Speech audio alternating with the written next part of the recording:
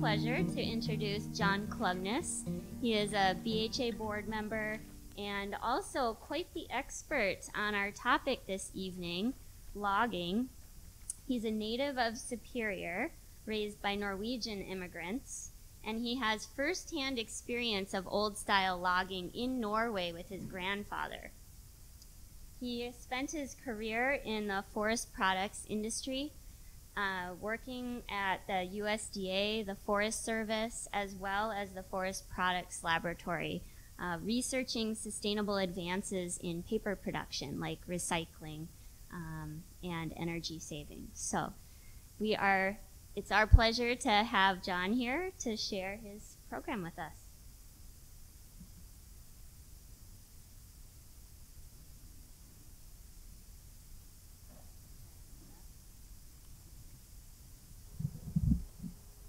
Okay, here we go. Um, first of all, can you hear me? I have a, tend to have a weak voice. If you can't hear me, tell me and I'll speak louder.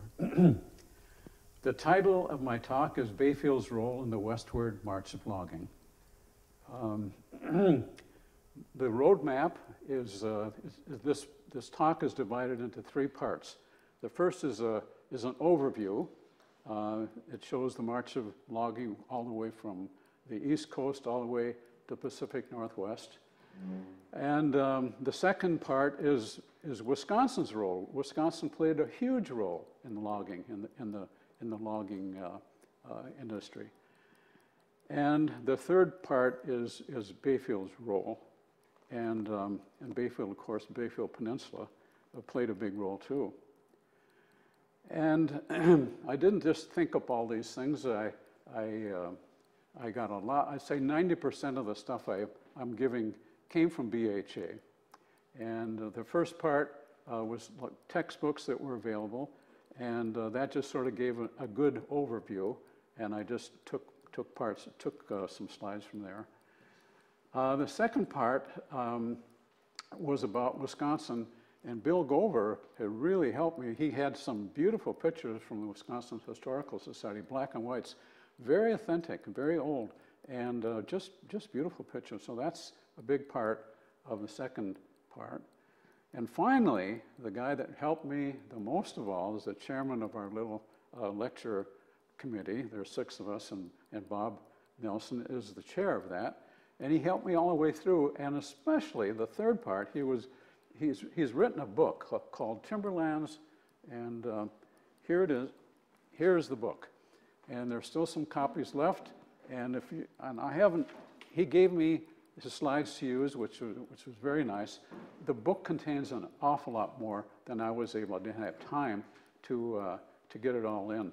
But uh, if you're interested in that topic and this region, uh, that, that's just a wonderful, wonderful book. So Everybody on the committee helped me. I don't know if anybody here in the audience would like to be, give, a, give a talk like this, but uh, if you do, this is a tremendous place to get your material, and the committee, the lecture committee, um, is just uh, unbelievably helpful.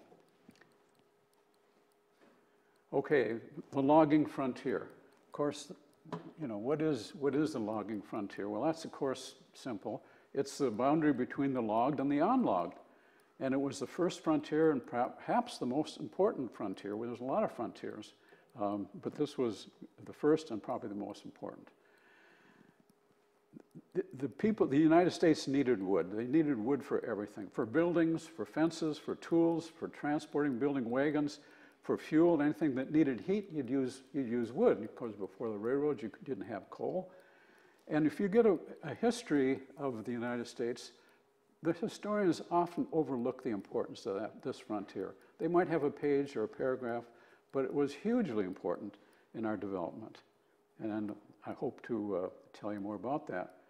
Um, here you see they have the Plymouth uh, plantation. This is where uh, east where Plymouth Rock is. And it, it's, a, it's a historical society, just like we are. They're supported by donations and grants. And the docents get a salary, and they dress up in the old clothes and they talk in the old fashioned way that they did back in like 1669 or something like that. And, um, and here you see another picture, but look at everything is wood. The houses are wood, the fences are wood, the roofs are wood. They use wood for everything. And the person that first articulated the importance of the frontier was Frederick Jackson Turner. He was born in Portage, and his parents sent him to Johns Hopkins University out east, and he came, he got a PhD in uh, history, and he came back to teach as a professor at the University of Wisconsin down in Madison. And he claimed, you know, that not only uh, was the frontier very important in, in the U.S. history, but he said that the, the logging frontier was the, was the reason behind the development of American democracy. It came out of the American forest and it gained new strength each time it touched new frontiers. There were so many frontiers. You know, there was not only um, the, the, logging frontier, but the railroad frontier and farming frontier, Indian frontier. And he had another um, hypothesis that he brought forth that, um, that was never given much um, um, notoriety, but was not very famous. But he said the different ethno-cultural groups had distinct settlement patterns, and this was revealed in the politics, the economics, and the society that they, they that they uh, in the area where they settled. Uh, and so I would say that uh, the frontier, well, people formed the frontier. They were the adventurous people. Uh, they were healthy, and uh, and the frontier formed the people. So it was a two-way street. Uh, you couldn't help but being optimistic. If things didn't go right, you go 100 miles west. You could reinvent yourself. So I would say that the people that the frontier formed were very um, cheerful and very energetic, I'd say. And that, that you know, kind of created uh, the U.S. Uh, sort of character. And so the type of forests I'm going to be talking about are, are softwood evergreen forests, especially white pine. They were plentiful, they floated, that was very necessary because the story of logging is the story of transportation, really. And there was no railroads before the 1850s. Uh, the rivers were the earliest method. They, it was a winter operation. They used snow for sleds in the, in the spring. They would use the, use the rivers to transport, transport the logs. Lumberjacks, they were um, a hardy group of people. They would, get, they would sign a contract for over $100 a season, all winter long, sun up to sundown. I guess they get Sunday off to wash their clothes maybe. But it started out in the East Coast, and there were a lot of Yankees, English people, then Irish and French, and then as we moved westward, a lot more North European people. In the East Coast, Maine was the dominant state until about the 1850s. Bangor, Maine was a real big logging center. But the coastal regions started to become depleted, and then New York and Pennsylvania became dominant. And here you see a map, and you're going to see three more maps. Every 20 years, I'm going to show you how these circles, these, the size of the circle is relative to the amount of, of logs that were cut.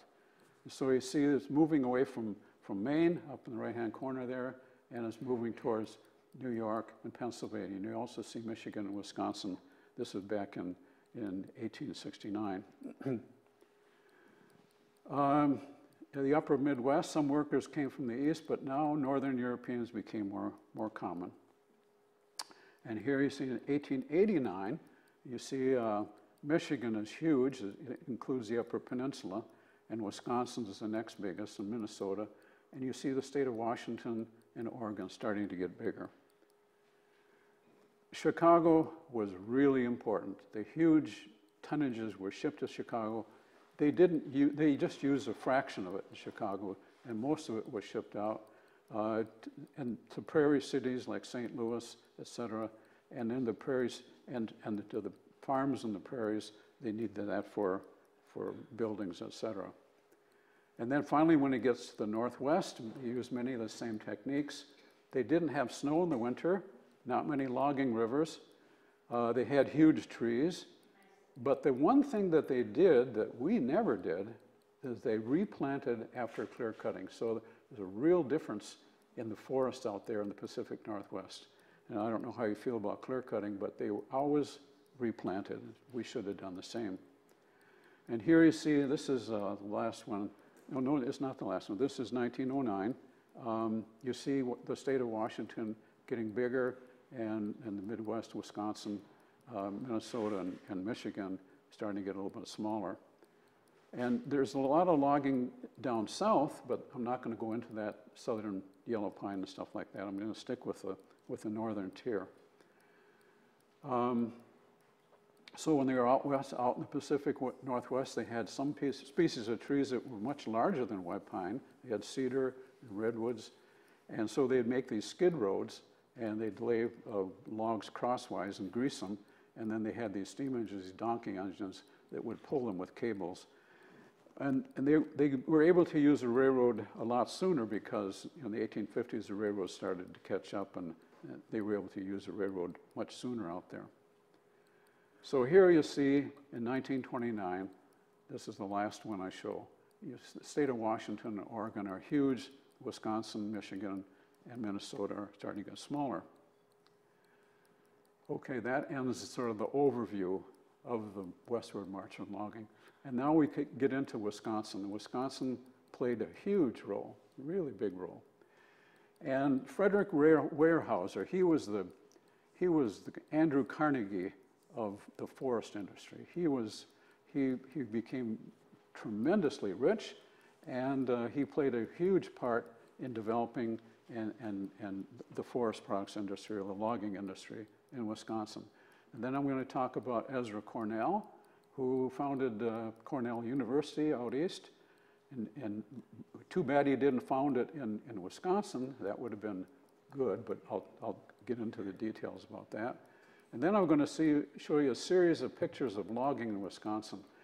They're just beautiful pictures, they really are.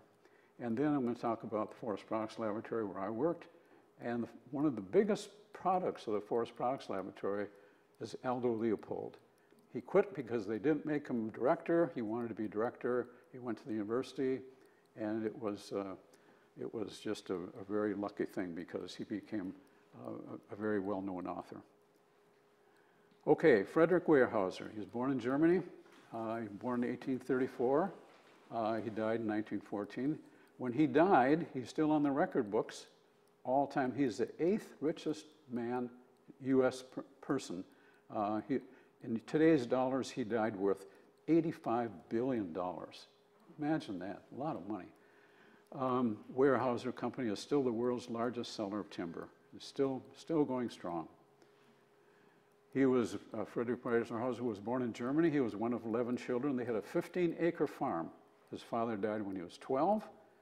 I imagine he learned how to work, how his work ethic was just wonderful. Um, he immigrated to the US at, when he was 17 years old and finally ended up in 1856 in Rock Island, Illinois. And that's where he's buried. Uh, he worked for a sawmill and uh, he purchased, uh, uh, he, he, he was such a good worker, he became in charge of a satellite sawmill. And finally, um, the, the parent company went bankrupt, and he had saved enough money, so he bought the whole company at a reduced price. And in 1872, he established the Mississippi River Log and Boom Company. And that was very, very important. The log and boom companies, they sorted the logs and, um, and then paid the loggers according to how they were marked, and then would sell them downstream to the sawmills. It was a, that was a key pinch point. And, and Weyerhaeuser realized that. Weyerhaeuser was a very smart man, very organized man, and up to that point, uh, logging was just sort of like chaotic. And here are some uh, logging marks. Uh, if you look down here, R.D. Pike, that's, uh, that's our own um, R.D. Pike uh, sawmill that we have here. And um, I have to tell you, I'm just digressing a little bit, but when I was 14 years old, I spent my freshman year, my freshman winter year in Norway, where I got to log with my grandfather, and he had a horse, and he had, there was a river there. He had a little tiny farm, but he had a fairly big forest, and that was where he got his cash. and I was never told this, but we, it was very important to, to mark the logs. And his mark was a clover leaf. It was three zeros, and my grandfather's name was Oscar Olason Osthagen, three zeros. His father's name was Olaf Olason Osthagen. And my grandfather's son my uncle, was named Olaf Oscarsson Osthagen, and then his son was the same as his father. But what they used to do in those days, they, the farms were so small you couldn't break them up. You, you, maybe he had 20 acres. You couldn't break them up. So it would go to the oldest son, and the other children might get something. Always caused a lot of bad feelings, but that's, that's the way they did it. And um, okay, so here it shows the, uh, the Chippewa River, just where it meets the Mississippi. And they had a big, uh, called the beef slough there, the, the log and boom company. And, and Weyerhaeuser got control of that. And then when it was open, uh, it was open for navigation. But when they closed the, the, the, shear boom, it would go over into some sort of swampy area where they would collect the logs and sort them. And um, Weyerhaeuser knew that uh, if he could get if he could get control of these these uh, sorting these these uh, boom companies, he could become very rich. So he started investing in other boom companies, and they the boom companies, you know, they were independent guys, small guys, and they knew that Weyerhaeuser had bought into him, but they didn't. What they didn't know is that he bought into everybody, and so he had influence. You know, he would uh, get on their boards and influence them. The loggers upstream, they didn't want this, this to happen at all. They didn't want Weyerhaeuser to control it because he would control how much he paid for the logs. And he could also control what the price was that he would get downstream. And that's exactly what he did. Um, Beef Slough became the largest lumber center in the US. Um, control of that slough uh, was in control of the white pine market. And eventually, Weyerhaeuser controlled the entire Mississippi Valley lumber market. He had control of it. He could set the price he was going to pay, he could set the price he was going to, he was going to sell for. So he became very wealthy. So in 1891, Weyerhaeuser moves to St. Paul. He's made a lot of money, and he lives next door to James J. Hill. Quite a lucky thing.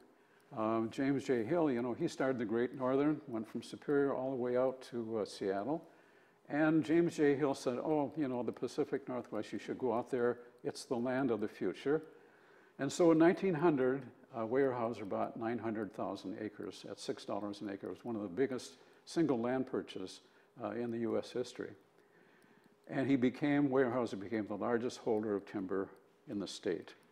And uh, he, uh, but the big thing that he did was he replanted after cutting he realized that you could not destroy the resource base for a lumber company. You, could, you just couldn't, couldn't just cut all the trees and not do anything about it. And here you see a picture out in Seattle, out in the Seattle area. It's going from St. Helens to, uh, to Longview. Uh, St. Helens, they, they had a, a, tree farm there, and it was started out in, in 1900, 1910. And, um, and this was taken about 1950 or 1960. The trees were probably 50 years old. And usually by this time they would go, but most efficient way would be go by truck. But this, you see here, they're using a train because the terrain is so bad. This trestle is maybe a thousand feet long and 300 feet high, but it's made out of, you guessed it, pine, you know. And so, um, and next person I'm going to talk about is Ezra Cornell. Uh, he was born in 1807. He died in 1874. He was born, I think, in Brooklyn someplace, but he established an early telegraph company which became Western Union. And he um, uh, worked his way up, and, but he retired fairly young. Uh, he wanted to do something with his money. He wanted to do, he, he, he had $2 million in shares, and at that time, that was a lot of money. And so he spent the rest of his life as a philanthropist, and he wanted to do something good. And he thought to himself, if the average American is going, kid is going to amount to anything, they need a better education. And the education that they're getting at that time was not very practical. You just learn things, memorize things, and then spit them back for the tests, and, and, and that was not really very practical. And here's a picture of Ezra.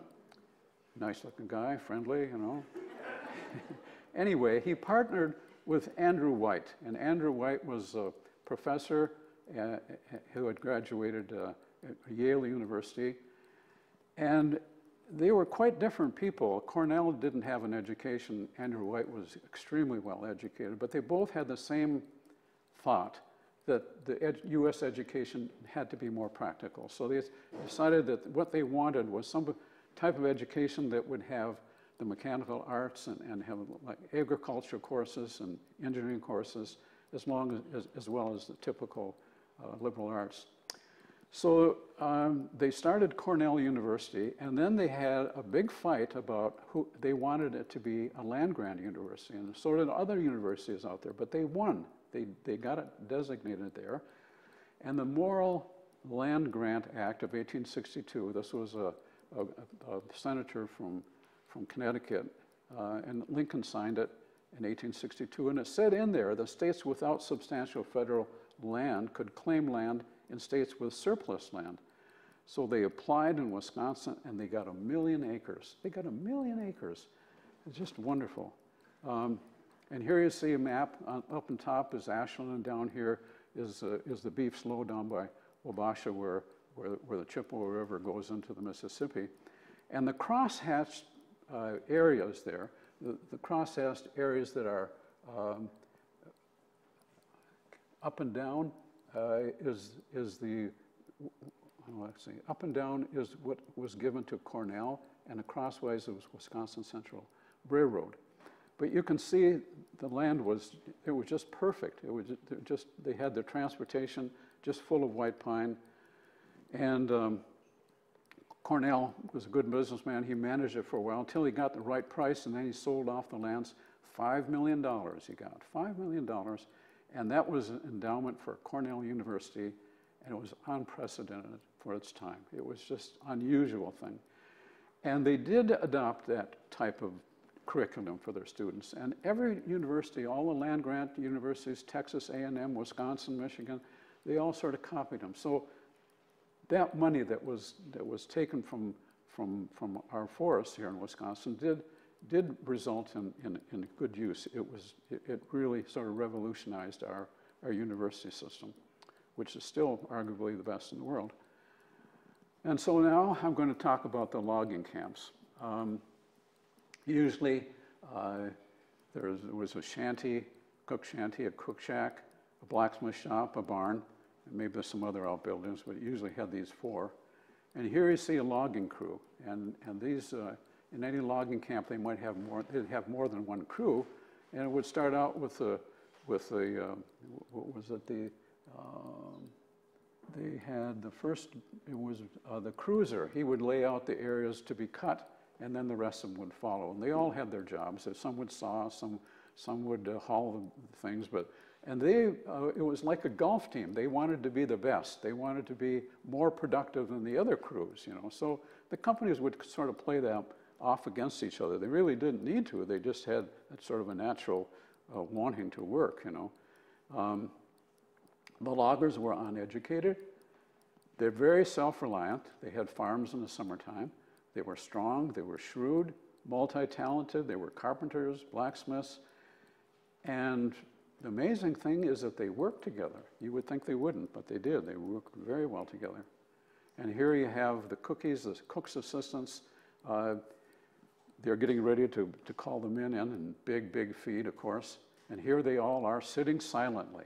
It's a big thing about the dining hall, you know. They didn't talk. And my father, when he came from Norway, he worked for a little while up in, in Two Harbors, and he's, it was a small logging camp there.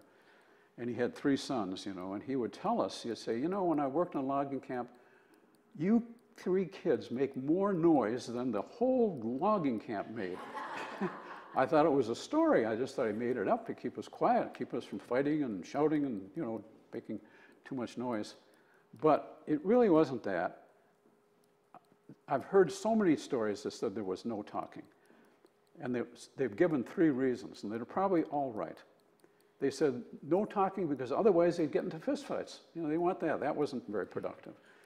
And the cooks needed to hear to keep, keep the food coming. Do we need more potatoes? We need more meatballs? And so they couldn't hear if the people were talking. But the third thing, I think the biggest thing, is the men were probably too hungry to talk and they just wolfed their food down. That's what I, so they're all three probably right. But anyway, so with the railroads, you know, the railroads started coming up in the 1850s and they brought hobos. And the hobos, one thing they liked was food. And the one thing that the lumber camps had was food. But they, you know, the hobos didn't want to work, and the lumberjacks, they wanted them to work. So it was sometimes they'd turn them down; they wouldn't feed them. But they were afraid because the hobos then it would retaliate. They'd burn the woods down, or they'd burn the cook shack down, or something. They'd, they'd get back. So it was ticklish. You know, you didn't want to give away the food because they never worked, but but at the same time, you didn't want to have your house burned down or your woods burned down. Um, and here you see a very nice, cozy bunkhouse. Really, really cozy.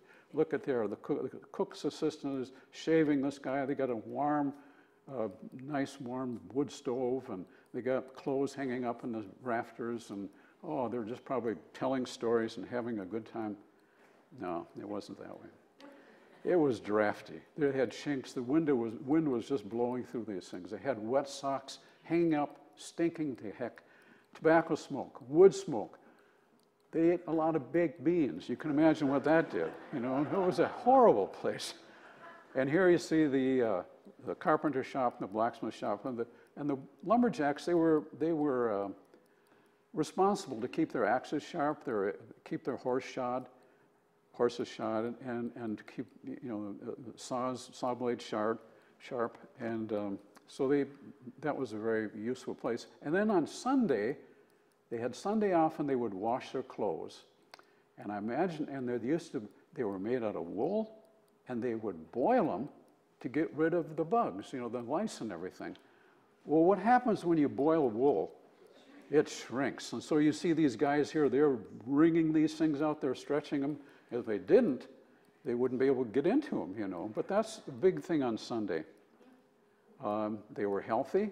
They, they weren't allowed to drink, but there was always some whiskey because if you got sick, you could have a drink of whiskey. They had patent medicines, Epsom salts for aches and pains. They didn't like taking baths, so they had invented this story that if you took too many baths, it was unhealthy. You know, so anyway, so then on I suppose Saturday night they had a, usually had a fiddler. They would have dances. You know, women. Of course, the guys that were supposed to take the women's part, they would tie a bandana around their arm, and, and they would have these little barn dances. So they, they had a lot of fun too, I guess. So now we're going to get into the part where they're doing the logging. They would cut these logs, and, um, and something I didn't realize, they used to cut trees with axes all the way up to 1880. They didn't use crosscut saws. I thought they'd been around forever. But one thing that they did, I didn't, they would gird the trees so that the teeth wouldn't get caught in the bark. And here you see two guys using a crosscut saw by hand. But it wasn't until 1880 that they, they started doing that. And here you see the fallers. They're trimming the trees, trim, trimming the leaves and marking, marking the logs with their brand, you know. And here they have see, uh, a, a, sort of a, um, trestle or whatever you call it, uh, loading the sleds in the wintertime. And here they're showing off for the camera. They never had loads that big. They couldn't, you know, that would be impossible. Um, but you know, they're going to take a picture. They're going to show we can, you know, we can build a load up really big. Um, I talked about this before. They had excellent work ethic, and, and the logging companies uh, would always recognize somehow that they that the best, you know, best crew. And here you see um, a water tank, and they would what they would do is they would fill this thing with water and ice the or wet down the, uh, the the road, the ice road, the snow road, uh, the night before, and, uh, and then next morning it would be very icy, so the horses wouldn't have to pull so hard. And here you see them coming. But they, when they had to go downgrade, they would have these, these uh, what they called hay monkeys or something like that. They would either put uh, sawdust or, or, or branches to slow the load down. And that's more typical load which they would have, you know. But they didn't want that to tip over because it could hurt the horses and a lot of work to repile the, the sled. And then they would have all these logs sorted, marked, waiting by the side of the river for spring to come. And then they would load it into the river. And the river was high. It could take, you know, the tremendous, I think this is, a, this might be the, I'm not sure, with the Chippewa River, I guess. Um, and here you see driving the logs downriver. Just look at it. Just look at what they had. And this is a five mile log jam on the St. Croix, and you, you can see the pictures, some men there. And uh, I happened to see a log jam near my grandfather's farm. Was, there was a falls there. and my uncle was one of the drivers. and they were just sitting there. Norwegians are very good at being quiet, and these guys were just quietly smoking their pipes, not sinking, drinking coffee. Not saying much, but finally they decided the one log was the key log. And so what they did, they put a dynamite charge on that key log, they covered it with branches, and they lit it off, an little explosion, nothing happened. So I said to my uncle, I said, looks like nothing happened. And he just said one word, in one Norwegian word. He says, Venta. It means wait. Slowly it started, and then creaking, creaking, and then pretty soon, slowly started going back down. But they knew, they knew, they knew that, they knew that which log it was, and it was just like pickup sticks, you know, millions of them. And here you have the log driving crew, and you see they're in boats. Their job was to keep the, um, the river clear. And the boats had, you know, pointed at both ends so they could maneuver, they could back up. And, and they would lower these guys down, and maybe they would saw the key log, but a lot of times they would dynamite it. And so this is cold and wet and dangerous. Uh, here they're going down the uh, uh, Wolf River, down the dells or the falls, you know, see them going this and this daredevil guys, you know. and here you have the log boom, where they would sort the logs, and according to the to the mark, you know, and then they would pay the loggers according to how many how many logs they got. But those loggers said, we sent a lot more logs down there than you paid for us, you know. And, and the boom guys would say, well, you know, uh, we get a stray log in here and there, it's just too much bother, we just take it, and you know, it's like cattle out west. If one of your cows gets into my ranch, we're gonna we're gonna keep it, you know. So they would have wars, and the loggers would come and dynamite the thing to go down to the next boom, uh, boom company, thinking maybe they would get credit for it down there. Here see them sorting the logs. and then they would have, this is a log raft on, on the Mississippi River. Um, and here is the, uh, here are these guys, they would work 12 hour days and they get like a dollar and a half a day but that was to keep the logs going up into the sawmill. And usually they had these big circular saws. This picture here is a picture of a, of a bandsaw, which was not as popular as, as the big disc saw. And uh, here you see these, there we get these cribs and they would uh, chain them together to make a raft. And here it is going down uh, Wisconsin Dells. And these guys, the, the raft men had to be really, really skillful uh, to handle that big uh, big raft and, and going through the rapids, etc. You can imagine how dangerous it was. And then if you get hung up on a sandbar, then the rivermen would have to come and pry it off and get into the water, get wet. Um, so it was a really kind of a hard life. And here you see, you know, the cutover land in Chippewa County. And it was a good thing in certain places because it cleared the land for agriculture. But up here, you know, our land wasn't that good. It was thin weather was cold, not much of a growing season. So we could have, you know, replanted. We should have. We never thought of it. They didn't. But a lot of the stuff became nice farms down, down the middle of the state. And then I'm going to talk a little bit about the Forest Product Laboratory, where I, was, I spent 36 years working there. Gifford Pinchot was the chief of the Forest Service, and he selected Madison as the site in 1910. And uh, here it was the first location. It's, the, it's a mechanical engineering building now. But um, in 1931, I think it was, they built the Forest Products Laboratory. And, uh, and that's the first building. And uh, looks, to me, it's always looked a little bit Frank Lloyd Wrightish. And there's like five or six buildings as big as that, if not bigger, there now. But um, that was where we, we first started that. And the United States was the first country to have a forest products laboratory.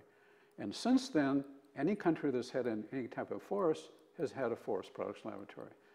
And, you know, this has always been solely supported by the government. Other countries are in combination with, uh, with private paper companies or logging companies. They have a joint, joint thing, but we've always chose to go it alone. And I think people like Scandinavia benefit from, from, from, from the sort of joint ventures. anyway, so the early research was wood preservation, for example. Railroad ties used to last, you know, the red oak or red oak, they'd last 10 years. And so they started a little project in 1910, and then at the 50th anniversary, uh, when, the, when the logs were railroad ties were, were, were, were 50 years old, they were just starting to go. So they increased them by 500%. So a lot of logs were going in, hardwood logs were going in for railroad ties. So they, and then drying lumber. If you look at some of these houses out in the prairies or even around here, you see they're, they're. The wood is warped. They were, they were in a hurry. They, they built with green wood. And, and so they did a lot of research on drying lumber, what type of lumber, uh, how fast you should dry it, et cetera, et cetera. They did a lot of, uh, the big diameter trees had gone, so they, they, they did a lot of research in developing things like particle board, strand board, et cetera. And these were just panels made out of scrap, really. And, um, and then they developed waterproof plywood, which is basically developing a, a, a waterproof adhesive. One thing they did when the computers came, they got this best opening face, and the sawmills could just, when they were cutting logs right away, they would know uh, how to cut it, where to put the two by four, or one, one by 10 or whatever, and they would reduce a lot of waste that way. Um, so that was some of the things that, that the laboratory were, were pioneers in. And Aldo Leopold, um, he, was, uh, he hi was hired in 1924 as an assistant director.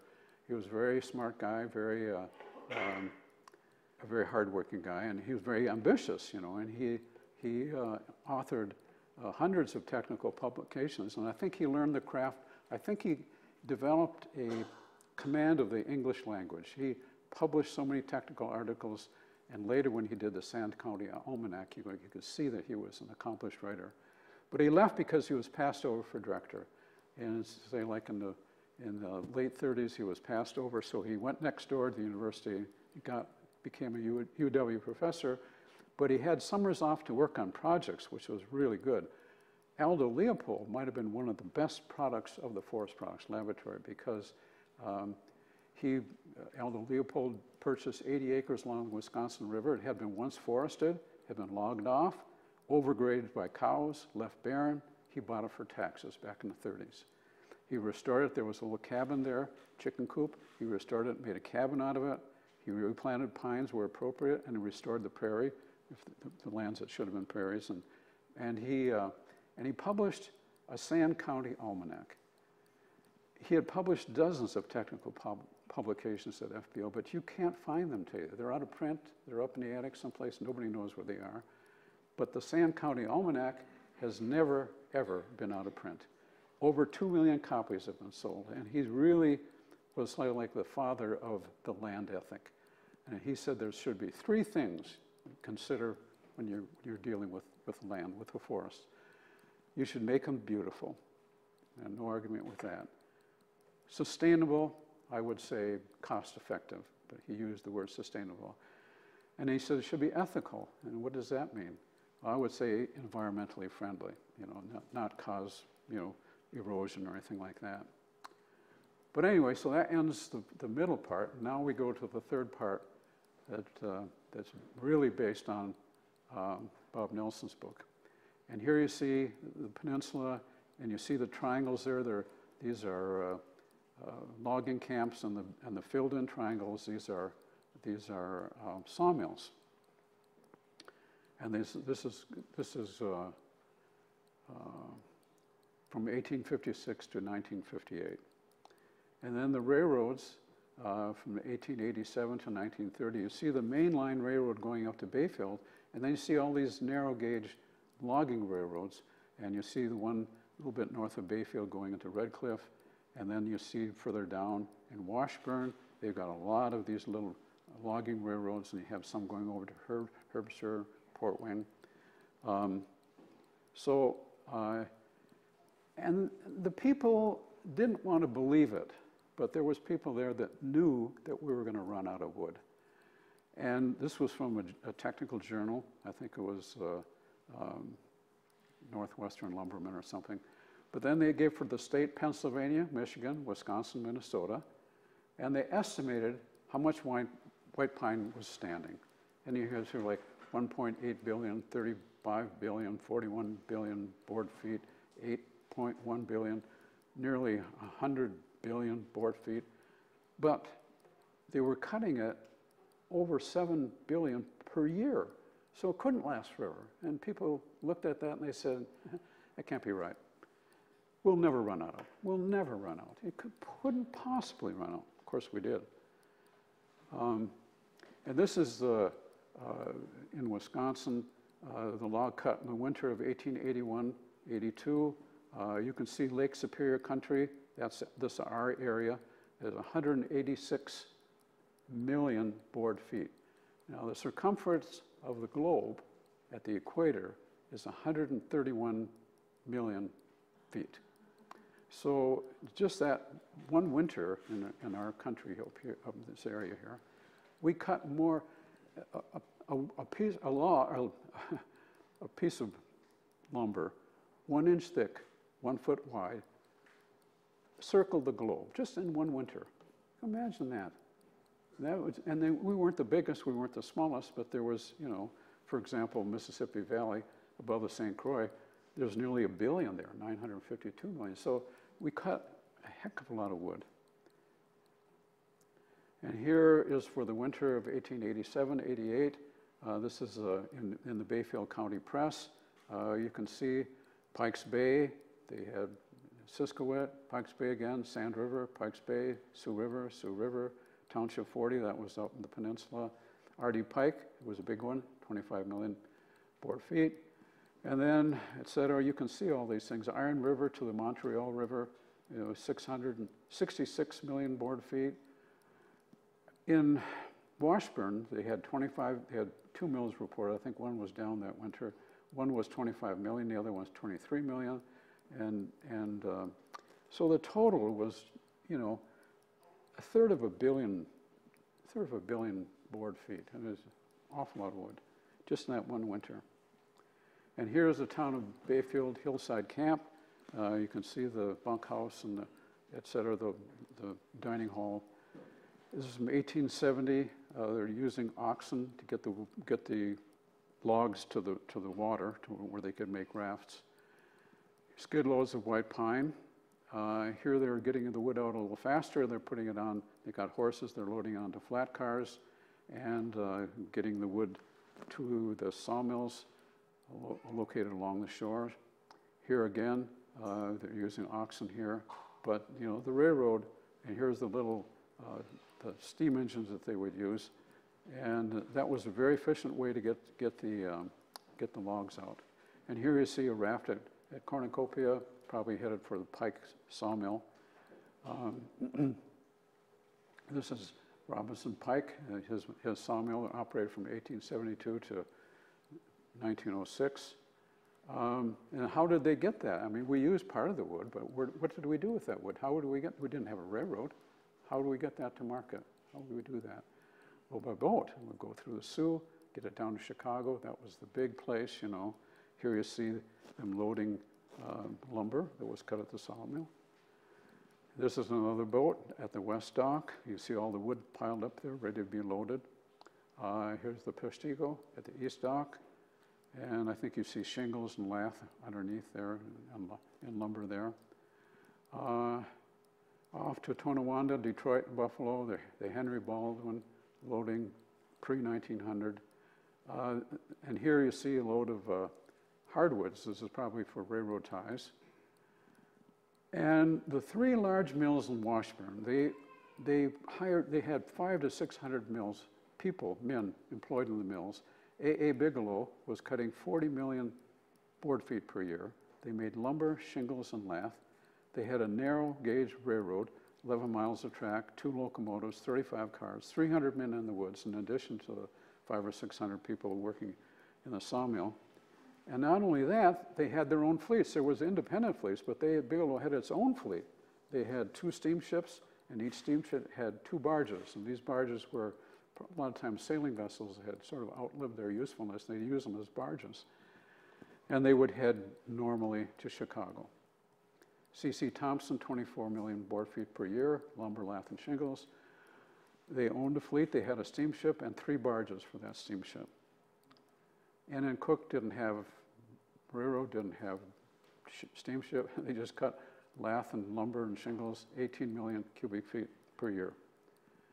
So this is, you're coming to an end now. And this is this is, you know, what is the use of all this history? And uh, there, was a, there was a book, uh, bestseller in 1982, called Blue Highways, and it was written by um, William Least Heat Moon, and he traveled the back roads. These were the, and the roads, and the road maps in those days, the main roads were in red, and the back roads were blue. And he followed all around the United States. He went to talk to people. Said, his question is, what is American history really about? And he talked with deeply rooted people off the main path. And he was maybe searching for a path for his own, for his own life. And uh, he, went, he went to New Jersey, and New Jersey is the most heavily, it's the most densely populated state in the Union. But remarkably, about 20% of it is hardly populated at all. So you've got the Pine Barrens there.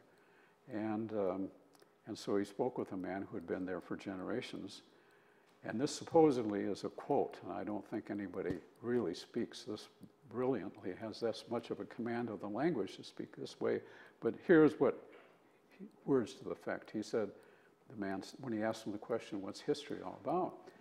He said, the problem, the guy answered, supposedly word for word, the problem of what we're doing lies in deciding what's the benefit of history and what's the burden. We're not trying to hold back the future, but we do believe what has happened is at least as important as what could happen. The future should grow from the past, not obliterate it. The evidence of history, whether it's archives or architecture, is rare. It's worth preserving. It's relevant. It's useful. Here, it also happens to be beautiful. Maybe I've been influenced by the old Quakers, and there was a big Quaker settlement there, who believed it was a moral question always to consider what you leave behind. And why not? It's not a bad measure of a man or a woman, what they leave behind. And so, you know, we're blessed with a beautiful lake and the islands. They're just gorgeous, and people come from all over to see them. But we used to have forests too, and I think, you know, my personal opinion is that we should have some brushland rehab. You know, it takes a long, long while to go from brush to nice big white pine. We can speed that up, and I think it would be, the result would be beautiful. I think it would be cost effective, and I think it would be sustainable. It's a very good carbon sink when you have these big trees. There's a lot more carbon in that than an equal amount of brush, you know. Um, so with that, um, that ends my talk, and I'd be glad to try to answer any questions.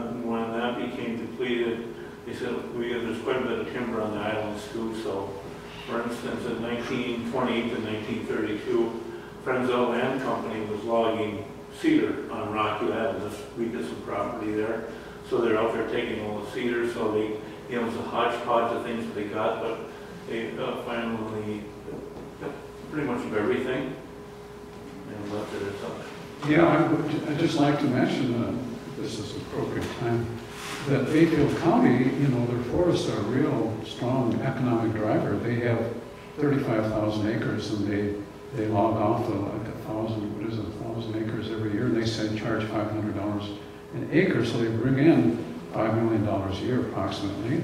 And it used to be that they would cut our taxes. You know, I don't know what our, what our budget is, eight or 10 million a year, but they, but they, uh, go ahead. Money, money,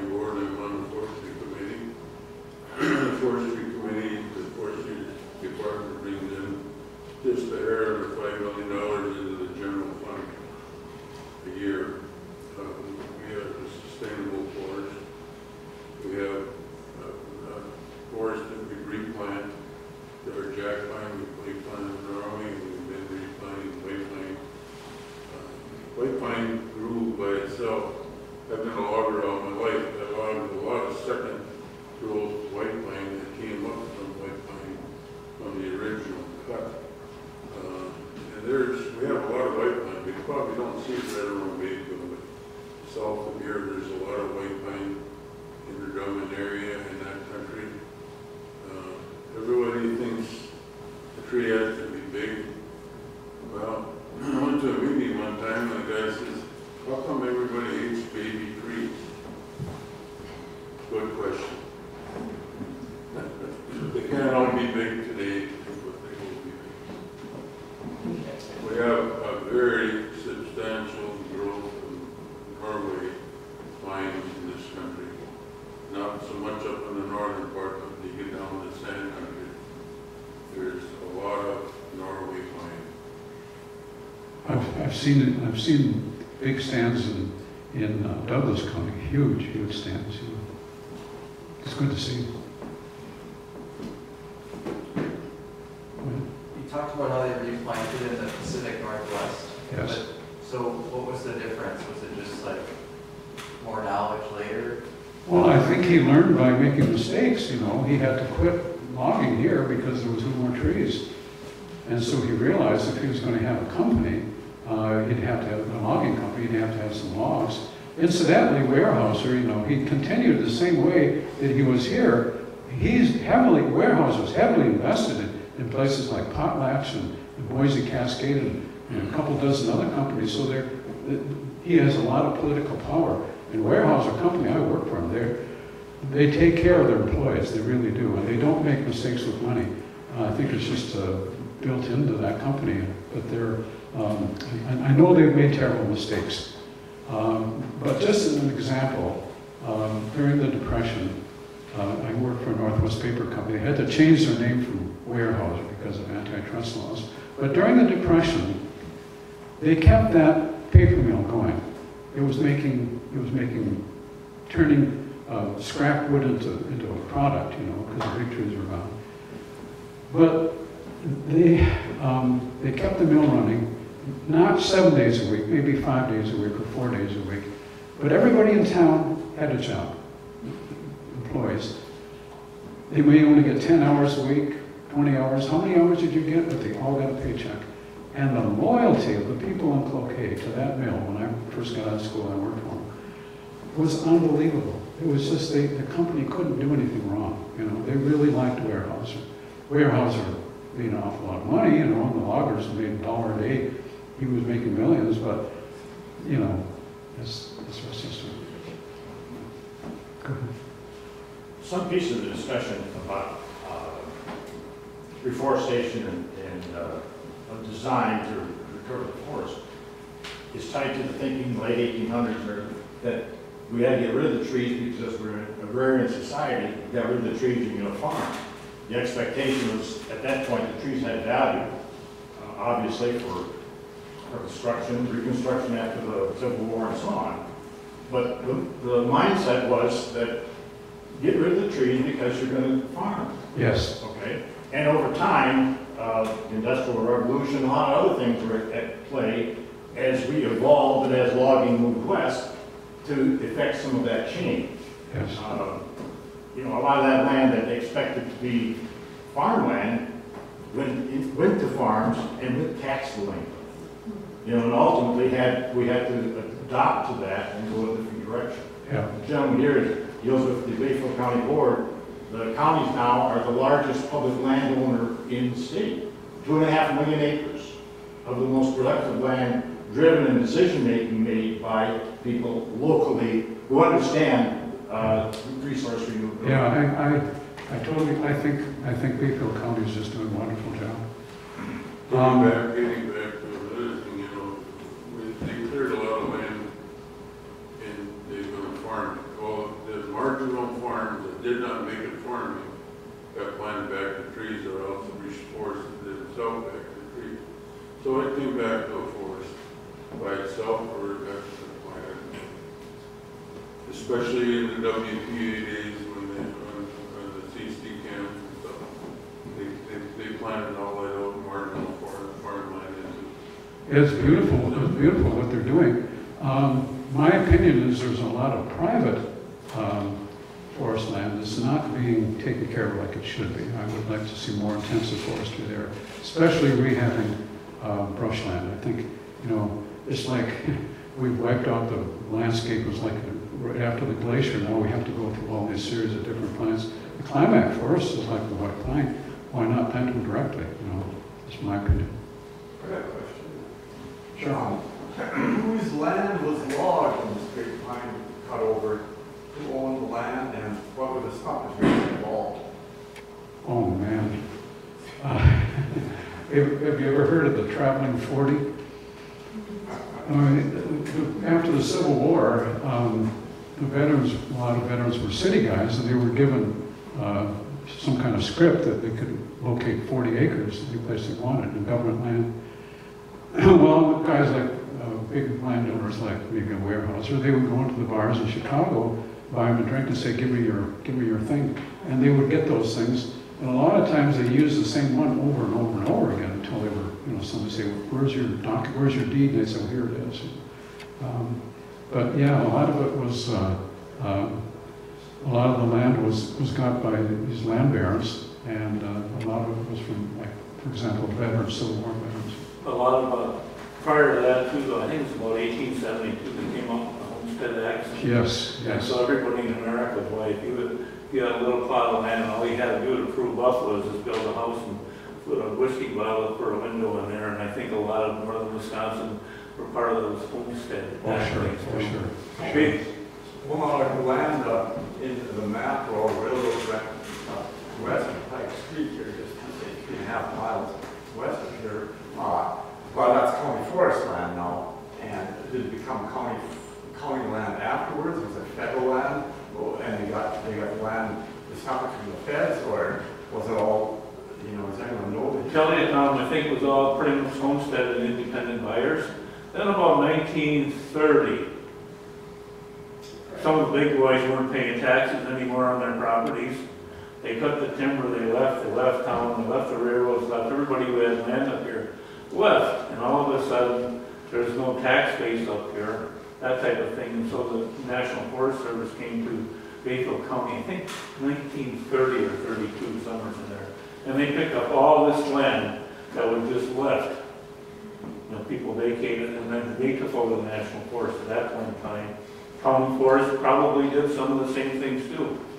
So you're, you're thinking that one way or another, uh, the land was, uh, held in some kind of a deed by the logging companies rather than paying something at that time? Some of it was, yeah, and other- and some of it were just regular guys that foreclosed to, you know, things like that. So I think it's a combination of everybody. But the railroads, big, they didn't pay their fair shares either. They got really good deals from Bayfield County, putting those little railroads in like that and investing all that money. Six hundred thousand dollars in one year, putting those spike railroads in, and all of a sudden Bayfield Western and Railway Company, whatever it was, abandons it, says, we can't make any money here, we, we're gonna renege on paying you guys back, so the county has made uh, some errors in the past. You gotta remember one thing, that the timber that was cut here built the rest of the United States, in other words, the Dakotas, one, uh, and down in uh, Indiana, Illinois, all them farms and all them cities were built from timber. It was. It wasn't, it wasn't cut and burnt up, it was used. We still have many buildings.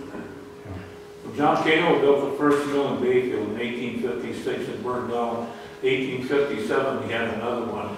All that, all that machinery is shipped up on the Lady Elgin, And that, when they built Bayfield, Wisconsin, it was to get the timber here. It wasn't because it was, could be a nice tourist town, you know.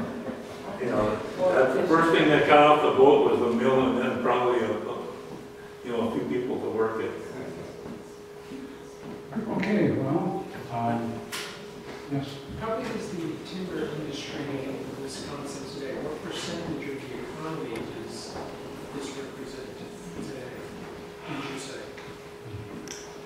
Well, a few years ago, um, paper industry employed fifty thousand people. Today, it's thirty thousand. And what they've gotten rid of is, uh, this is just the paper industry. Uh, What they've gotten rid of is the uh, small inefficient mills. And so what's left is big, modern, high-speed mills. And so that's going to come plateau. Um, but as far as logging, I can't. A good question, though. A lot better than the answer. Can I change the mood of the audience a little bit? Sure. How many of you know about moose turd pie? Moose turd pie. I married into a Norwegian family. I was a lady until I married into them, and I learned two kind of off-color jokes. And so wherever I am, I can tell those two. And my father-in-law, Gil Larson, would actually laugh. Um, but anyhow, Grandpa Oscar, Oscar Hare, worked in the lumber mills. He did cut his hand on one of the big saws, so he became an accountant in the counter and did the paperwork. And because of that, he was often called upon to cook when in the lumber mills. That was kind of the worst job because if you didn't cook very well, everybody griped and complained and you were still cooking. So they got, they, the cooks wanted to quit and they decided, no, you would cook until somebody complained about your cooking. And if somebody complained, then they would have to cook. So now you know the story of moose turd pie? Yeah, well, anyhow, should I go on? It's a good story. So Grandpa Oscar had been cooking quite a few weeks, and he decided he just had to get rid of this job. So he went out and got some moose turds. Now, you hunters know that moose turds look like brown marshmallows, right? They're kind of soft and gooey. And he whipped up some really flaky pie crusts. And he put those moose turds in that pie and baked them. And he could hardly wait until the crew had dessert. He was going to give up his cooking job. So the first person to take a bite hesitated and said, tastes like shit, but sure am good. Sorry,